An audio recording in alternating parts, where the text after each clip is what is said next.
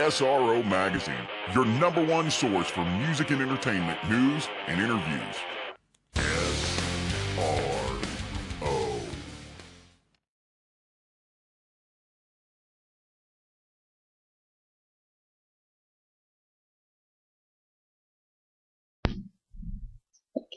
Hi, this is Alicia Williams from SRO Magazine, speaking with Jaime St. James. How are you? I'm I'm fabulous. How you doing? I'm doing good. Just hanging in there, watching it storm. Hoping the power doesn't go off. Uh, it's 95 degrees here in Los Angeles. I'm at home and just hanging out. You probably hear some dogs barking back now. It's all good. Nice. So how's everything going? Excellent. Busy guy, but uh, that's the way I like it. Gotta stay busy. Yeah. Otherwise, you know, get in trouble. exactly. So you are the singer for Black and Blue, correct? Was and, still am. And still am. That's right. You started off playing drums there, right? I did. Well, yeah. I, if you go back far enough, I actually started playing guitar, but I I just realized it was going to take me a long time to learn that, so I uh, jumped on the drums and, started pounding away. There was no studio for me, so uh, yeah, was a drummer all the way up actually until Black and Blue. Ah, okay. What, which one do you prefer? Which, what? I like singing, but uh, you know, I I learned how to play guitar so I could write songs. Basically, I, I very rarely play on stage, but I, uh, you know, I, I was it, well, playing drums is fun, but I don't know. The older I get, the glad I'm not, I'm glad I'm not doing drums anymore. It's pretty hard on your body, but Oh, I guarantee it. singing, either. Oh, no doubt. Uh, but I, I, I, I love. There's just something about singing that I love. So that's, that's what I chose. That when Black and Blue started, and I was sticking with it. What, stick with what works, right? Exactly. so you met Tommy, your bandmate that was um, in Black and Blue in high school, right? Well, we were we weren't, we didn't go to the same high school. We went to separate high schools, but I think the, the, the famous story is, true. We were both played in a marching band in our high school. I played saxophone and I played drum. And we just kind of saw each other at this like competition thing. We were, but we were from different high schools, so we kind of knew each other. I can't remember if we talked or not. We got picked it was so long ago, but I do remember acknowledging him in some way. I think we just kind of waved at each other because we had the same kind of hair. Uh-huh. Kind of rare in that setting. So, you know, and then uh, really short, shortly after that, he, he ended up coming down and auditioning for the band that I was in. And I went, hey, that's that guy. So, and, and we also would see each other at concerts in town because we would always go to the same concert. So we're talking about when we were teenagers. Right. So, I mean, we've known each other since we were 17 years old. And you all played in a Kiss tribute band together, right? We did. Uh, let's see, who did he play again? Oh yeah, he did Ace. Ace. And uh, I did. I was Peter Criss. I was doing the drums, and uh, it was a blast. Actually, it was a lot of fun. We were really good, and it was back in uh, in the days where there wasn't very many uh, very many tribute bands. Period. There may have been a couple of Kiss tribute bands in the world, and not much else. I think Atomic Punk band that around back then, that early on. Other than that, wasn't like every other band was a tribute band. So it was rare, and we did it really well. We had the costumes down perfectly. You know, we even had the same guy that made his boots make our boots. It was pretty pretty hardcore. So we were good. How how was it different when he actually left to play with Kiss? Like, do you, is Yeah, it's weird. Is it weird? I mean, do you, know, it's weird that I mean, he look. I know Tommy's been playing those Ace Woods all his life, so he does them really well. And uh, it's just kind of funny how he's ended up now in the band, but uh, you know, it doesn't surprise me at all because he does a great job. well, that's great. So you are still pretty close, and do you still get the same uh, amount of like fan base and everything as you did before? I mean, has any of that changed?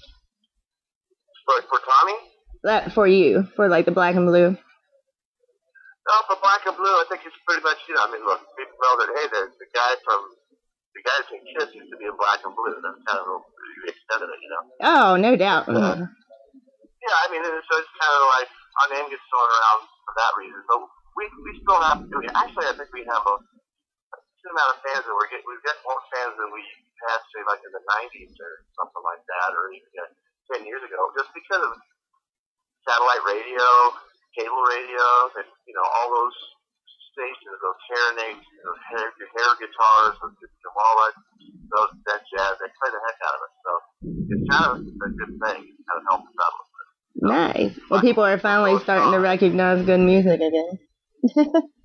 Yeah, well, you know, at least they got these specialty stations they can tune into and say, yeah, you know, I mean, it's, it's, it's, it's, it's kind of a cool thing that keeps it helps keep it alive. But we're we're playing a little more shows than we than we used to, and we're, we're the band is like really strong. We have uh, Shawn Sonnenschein replaced Tommy Thayer about 12 years ago.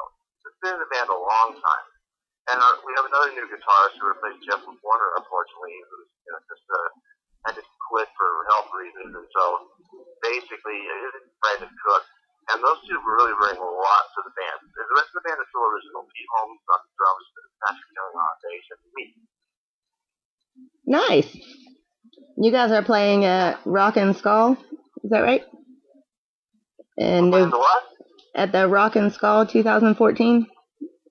Oh, yeah, yeah, yeah. Yeah, Skull Fest, you call it. Yeah, you looking forward to that? Yeah, I am. We're actually, uh, we just got back from Minnesota. We played a show in Minnesota last uh, Saturday night. Went down well. Great, a lot of fun.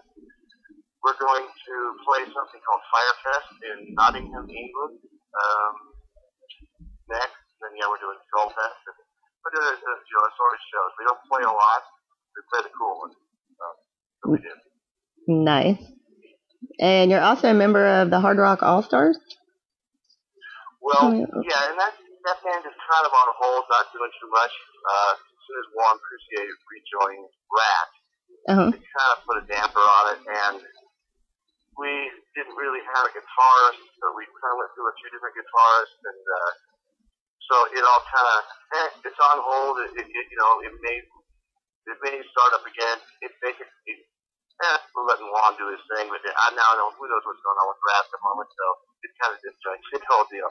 But I, I have another project called Let It Rock, and uh, that is like a, a it was all started out to be like a Vegas revue tribute to 80s, you know, Sunset Strip. Uh-huh. But it's kind of turning into more than that. It is me on vocals, Stacey Blades from LA Guns on guitar, Oz Fox from Stryper on guitar, Eric Brittingham from uh, Cinderella on bass, and a guy named Scott Coogan on drums, who was with Ace Frehley, and um, but uh, he was with the Nikki Sixx Band, one of those Nikki Sixx Band. Oh, wow. That sounds pretty, it Yeah, sounds, it, it sounds good. it, it, it's a great band, and uh, we are. I'm uh, heading to Vegas tomorrow to do a couple of days of rehearsals, and then we're playing our debut Los Angeles show, and then we're playing uh, Vegas, and then we're going to be touring around. We're going to be playing shows this summer, and we just released an original song that we wrote uh, called American Rebels, and that's on iTunes and Amazon right now. You can download it. You know, just a one or two shot. You know, you 99 cents a tune, but it's a great tune. It shows what we are. So, and then we play, you know, assorted 80s stuff, not just from our own bands, from like Cinderella or Black and Blue or LA Guns and that kind of thing, but we also, you know, throw other stuff in the mix, some stock and some, you know, just some assorted songs. And and we have a couple of original songs, but it started out as kind of like a Vegas revue, so people would just come when we have a residency in a room. So you come every weekend to see us, but it's kind of taken on a different thing, and now we're going to be bringing out casinos and you know the uh, street fairs and different places out in out in the country. Cool. Look forward to it. Oh, that's great. I look forward to hearing it. So you just you have the one song available so far? Yeah, it's we're, called Let It Rock, and it's on. You can get it on uh, iTunes, you know, Amazon. Uh, it's called American Rebel, and it's killer. I guarantee it. With a lineup like that, you wouldn't expect anything less. So are you working on an album? Like getting an, are you working on getting an album out? Well, we, we the people were trying to offer us a record deal, and I kind of I I kind of spearheaded the idea of turning it down because I was really just bypass record companies right now and just put stuff straight onto, you know, where, where people can download it, and we don't need to pay the record company anything. We can we can afford to take ourselves to the studio and, and pay for it ourselves.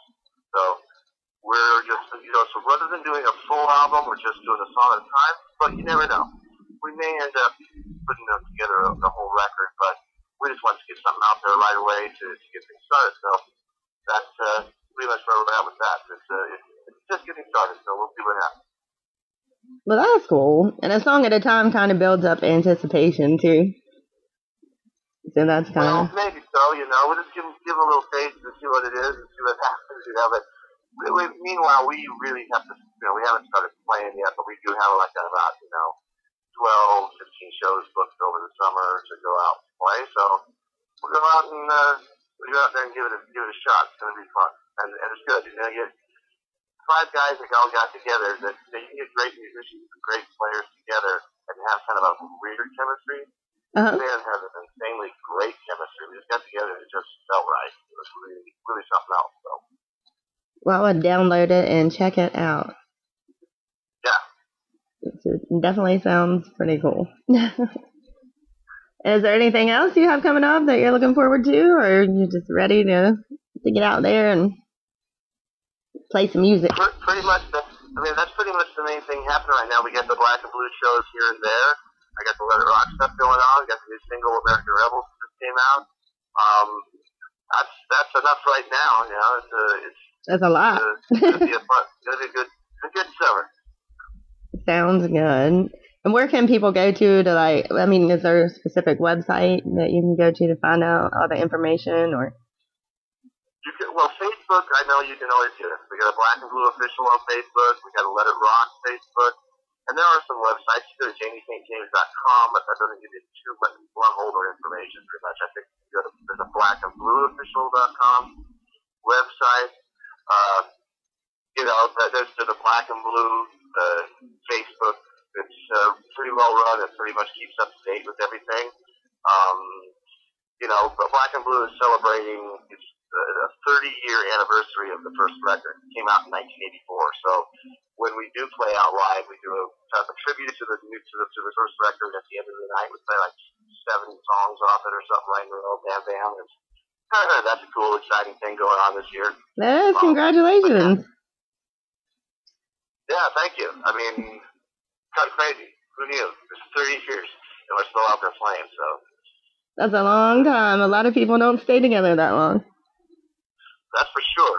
And uh, you know, I mean, I, I think that it's you know we're having we're still having a lot of fun, and as long as we're still having fun, then why not?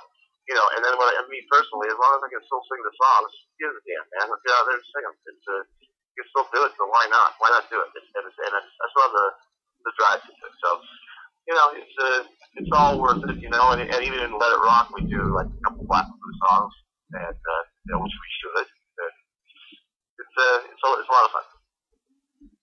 Well, it sounds good, and I look forward to all of it.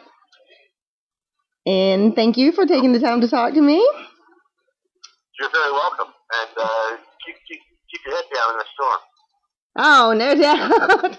That's a little freaky, and I normally like them. but I would definitely download the song, and and we'll we wish you the best, and I'll keep in touch. Okay, thank you very much. Thank you so much for your time, Okay. and good luck tomorrow on your drive. All good, man. Thank you very much. All right, Thank you very thank- much for the, for the interview. Thank you so much. All right, bye bye.